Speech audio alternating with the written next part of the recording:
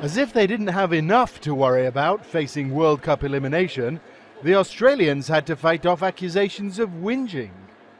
But the final match against the battling Serbs will give the Socceroos the chance to show the world what they are really made of. With only one point so far, they need to win big against the Serbs to even stand a chance of going through.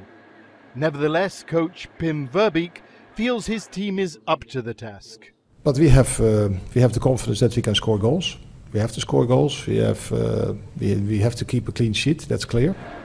Aussie captain Lucas Neill knows that this World Cup will probably be his last, so he wants to stay in it. It's the most important game we're going to play in today. And yes, you're right. Everything is on the line. Uh, you, we, we can't take for granted how important it is to play in a World Cup, a World Cup game. So we're going to make sure we go down and we go down with a fight. Let's hope that the Socceroos' unlucky streak has come to an end.